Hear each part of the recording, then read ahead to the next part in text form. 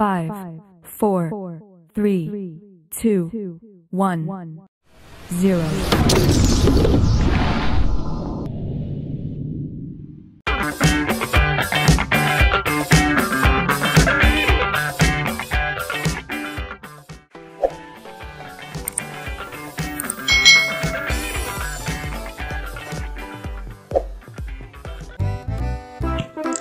Halo adik-adik, selamat datang kembali di channel YouTube Kak Citra. Apa kabar nih kalian semuanya? Masih tetap semangat belajar kan? Ya, hari ini kita masih belajar tentang pelajaran tematik untuk kelas 2 sekolah dasar. Saat ini kita akan melanjutkan untuk pembelajaran di tema 8, subtema 1, pembelajaran 3. Mari kita belajar bersama-sama. Baterai jam dinding di ruang tamu sudah usang. Baterai jam dinding harus segera diganti. Ayah meminta Udin untuk menggantinya. Udin bersedia untuk menggantinya. Nah, adik-adik, ini ada percakapan antara ayah dan Udin. Hati-hati ya nak, jangan sampai terjatuh. Kalau terjatuh bisa terluka. Jam dindingnya pun bisa pecah, kata ayah. Iya ayah, saya akan berhati-hati. Pegang mejanya yang kuat ya ayah. Jawab Udin. Itu tadi percakapan antara ayah dan Udin. Ayah dan Udin tetap menjaga keselamatan mereka saat mereka ada di rumah. Nah, begitu juga dengan adik-adik semua. Walaupun kamu berada di rumah, kamu harus tetap menjaga keselamatanmu. Jika kamu hendak mengambil sesuatu yang mungkin terlalu tinggi untuk digapai, minta tolonglah kepada orang tuamu. Dalam percakapan tadi, bacalah kalimat-kalimat berikut dengan benar. Yang pertama, kalau terjatuh bisa terluka. Yang kedua, jam dindingnya pun bisa pecah. Yang ketiga, iya ayah, saya akan berhati-hati. Coba adik-adik semua perhatikan penggunaan tanda titik pada kalimat tersebut. Ya, pada kalimat-kalimat tersebut penggunaan tanda titik terletak di akhir kalimat. Tanda titik digunakan untuk mengakhiri kalimat berita. Selain itu, ada beberapa tanda yang lain. Yang sudah kita pelajari tentunya ada tanda tanya. Digunakan untuk mengakhiri kalimat tanya. Ada juga tanda seru Tanda seru ini digunakan untuk mengakhiri kalimat ajakan, kalimat minta tolong, dan kalimat perintah. Coba adik-adik perhatikan kalimat pada kotak yang ada di layar. Coba adik-adik tuliskan kembali kalimat tersebut dengan menggunakan huruf kapital dan tanda titik yang benar. Kalimatnya adalah batu baterai jam dinding di ruang tamu sudah usang. Kira-kira menulisnya bagaimana ya? Mari kita simak bersama-sama. Penulisan yang benar adalah batu baterai jam dinding di ruang tamu sudah usang diawali dengan huruf kapital pada kata batu. Lalu diakhiri dengan tanda titik di akhir kalimat.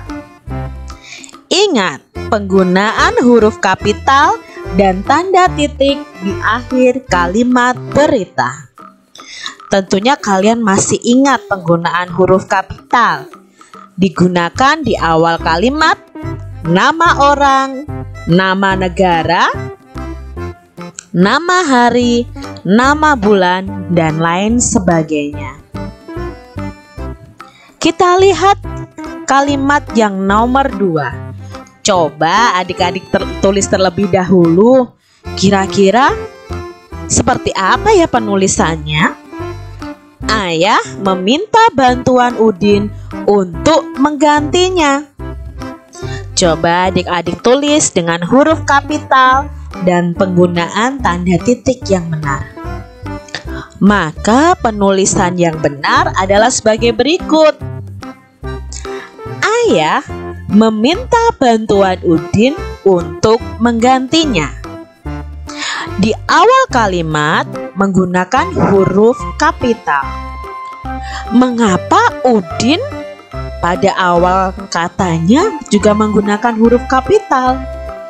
Karena Udin adalah nama orang, maka perlu menggunakan huruf kapital dan diakhiri tanda titik.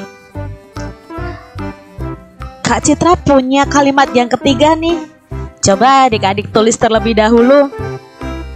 Ayah berterima kasih kepada Udin. Kira-kira penulisan yang benar bagaimana ya? Ya, penulisan yang benar Ayah berterima kasih kepada Udin.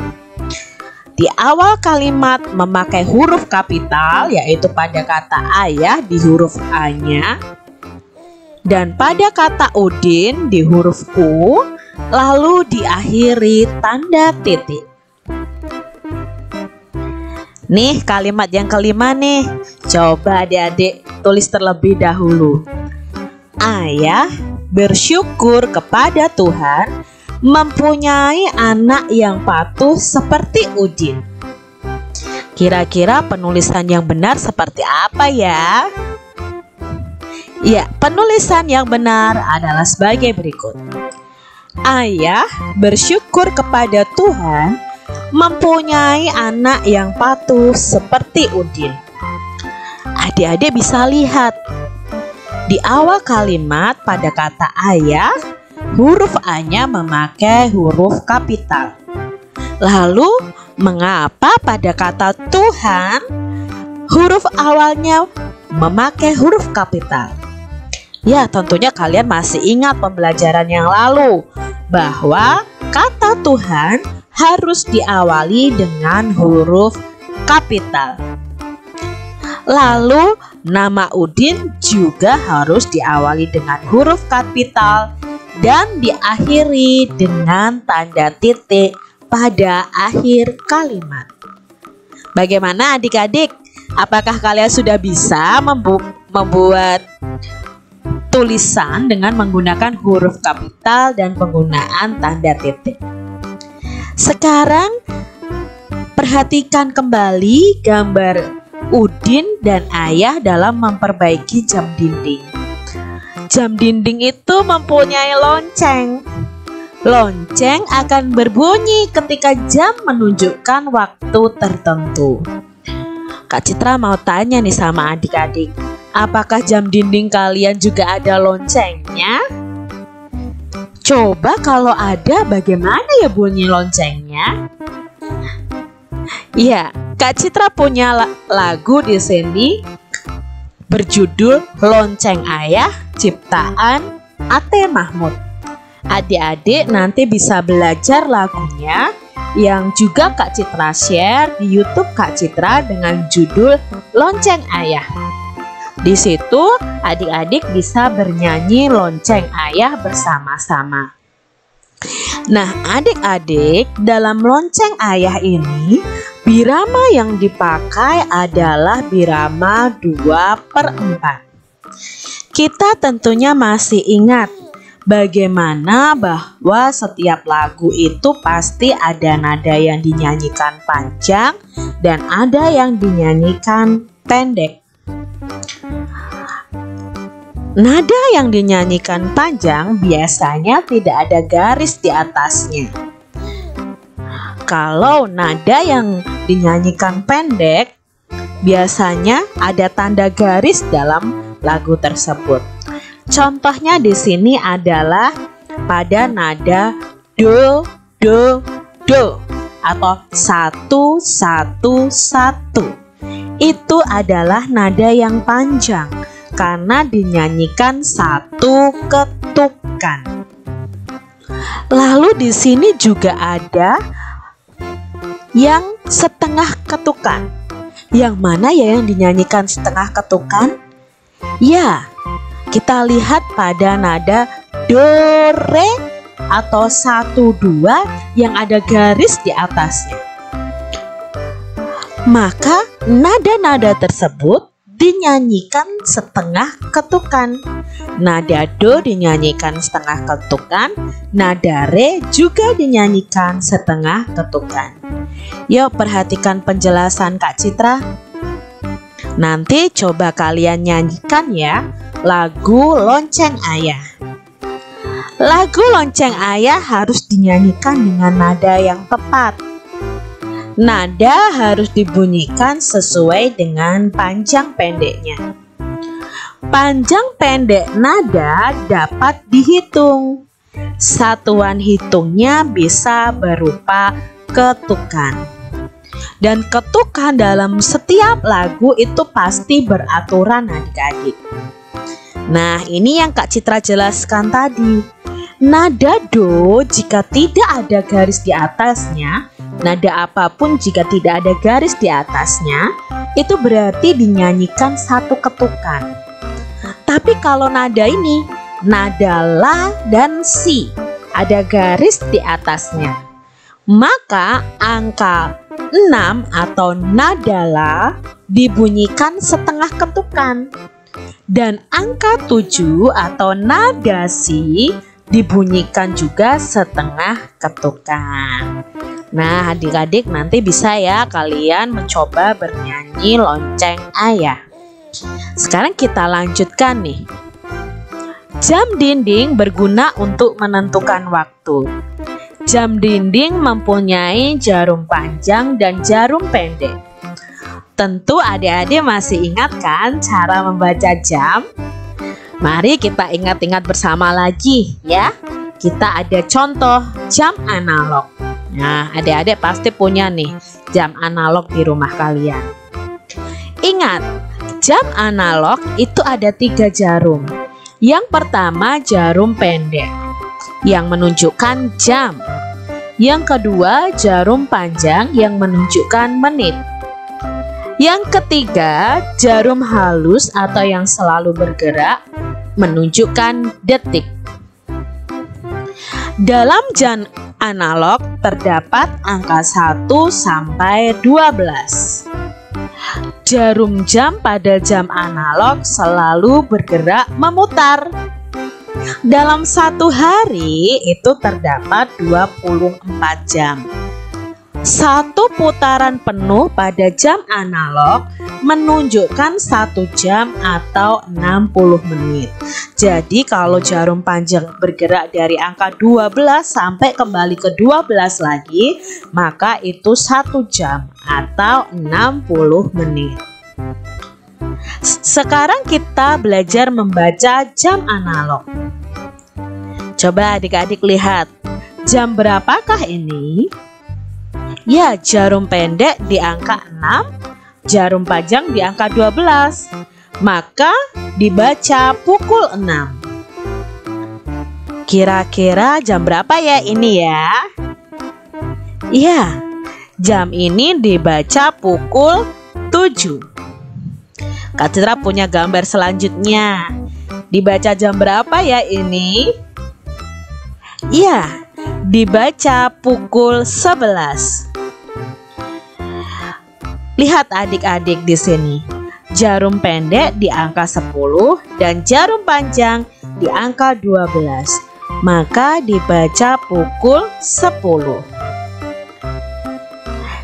Jarum pendek di angka 8 dan jarum panjang di angka 12 Maka dibaca pukul Ya, dibaca pukul 8 Nah, perhatikan letak jarum panjang dan jarum pendek pada jam berikut Menurutmu jam-jam tersebut menunjukkan pukul berapa?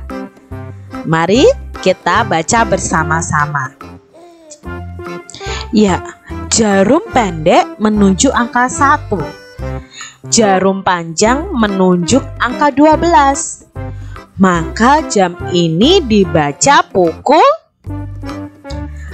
Iya, dibaca pukul 1. Kak Citra punya gambar yang kedua. Jarum pendek menunjuk angka 3 jarum panjang menunjuk angka 12. Maka jam ini dibaca pukul Ya, dibaca pukul 3. Lalu gambar berikutnya. Jarum pendek menunjukkan angka 6. Jarum panjang menunjuk angka 12. Jam ini dibaca pukul Ya, dibaca pukul 6. Jarum pendek menunjuk angka 9. Jarum panjang menunjuk angka 12. Maka jam ini dibaca pukul dibaca pukul 9. Nah, berikutnya adik-adik. Jarum pendek menunjuk angka 11. Jarum panjang menunjuk angka 12. Maka jam ini dibaca pukul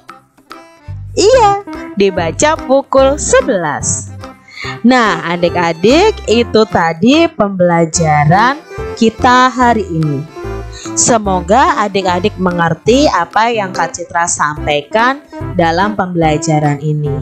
Kalian bisa berlatih bersama-sama dengan orang tua kalian atau teman-teman kalian di rumah. Nah, adik-adik, tetaplah kalian jaga kesehatan dan selalu rajin belajar dan berdoa. Jangan lupa, kalau kalian punya sosial media, kalian bisa kunjungi Facebook Kak Citra, Kak Citra dan Instagram Kak Citra. Adik-adik, jangan lupa like, subscribe, dan share video pembelajaran ini untuk teman-teman kalian semua. Sampai jumpa kembali di video pembelajaran Kak Citra selanjutnya. Tetap jaga kesehatan ya adik-adik. Tuhan memberkati.